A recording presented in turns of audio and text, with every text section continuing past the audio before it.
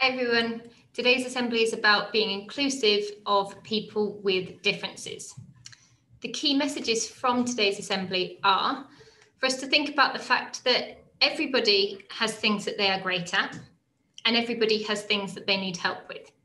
So I'm not just talking about people that might work with me in school, but I'm talking about everybody, so every student, every teacher, every parent, we all have things that at times we find difficult and need help with.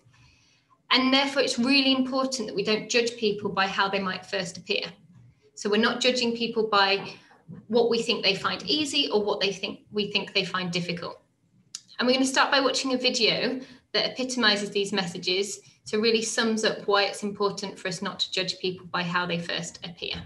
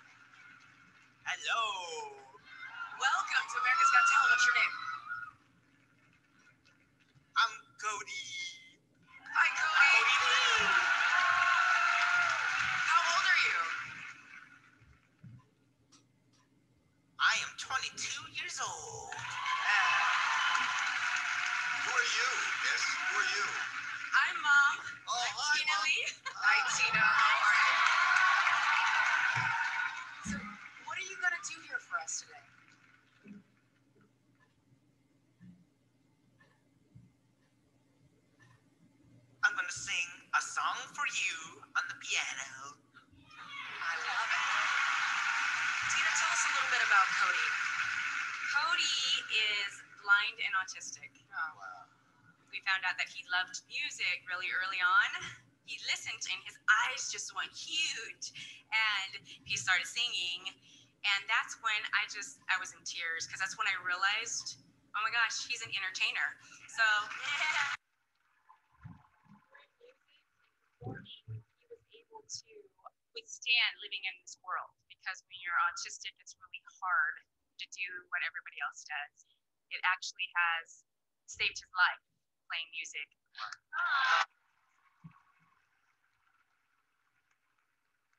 well, we'd love to hear you. Go for it. Ready? I'm ready.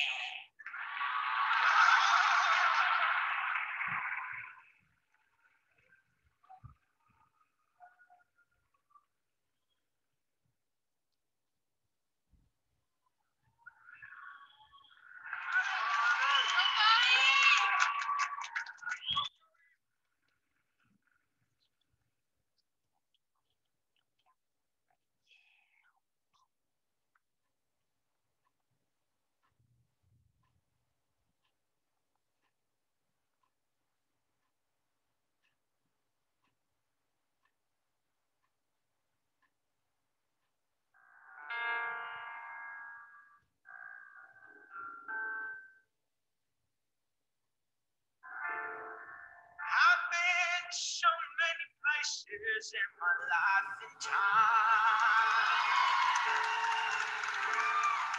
I sung a lot of songs and I made some bad rhymes. Racking up my life in stages, ten thousand people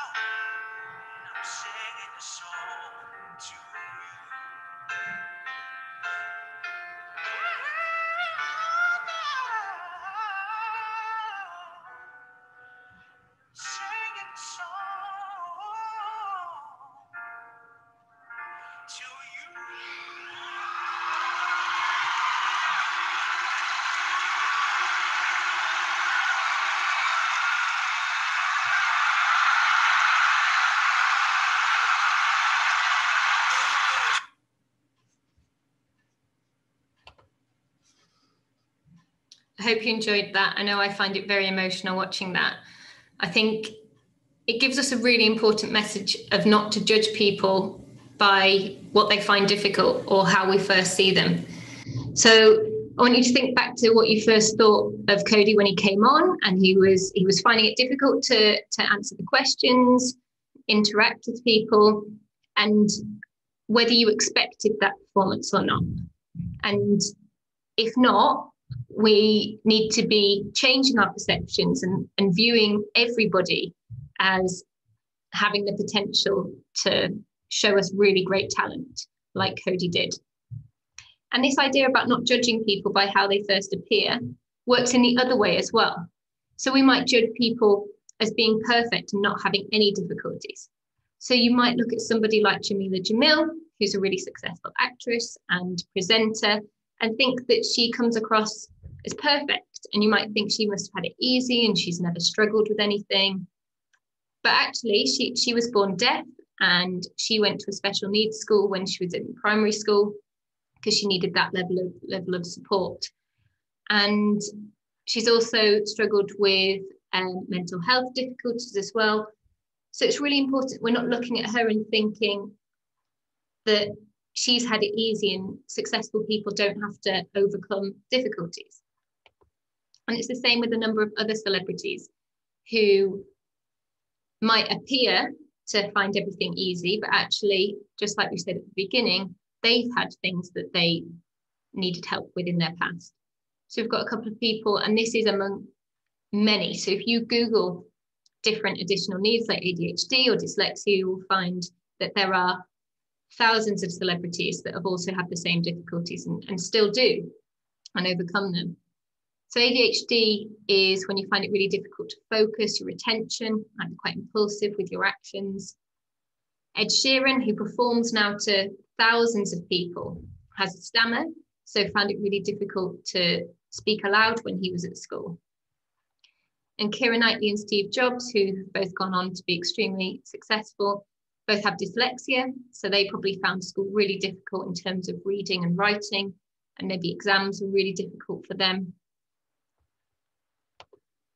We've got a number of really successful people like Greta Thunberg, the creator of Pokemon, who have autism.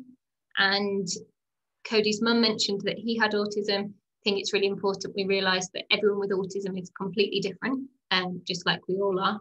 But it's really impressive that these people have, have been so successful. RJ Mitte has cerebral palsy. Daniel Radcliffe um, has dyspraxia, so he will have found things like handwriting and maybe PE really difficult when he was at school. So the message is for us not to presume that anyone who's been successful has had it easy. And if we're finding things difficult, we're not the only one and, and we can overcome them.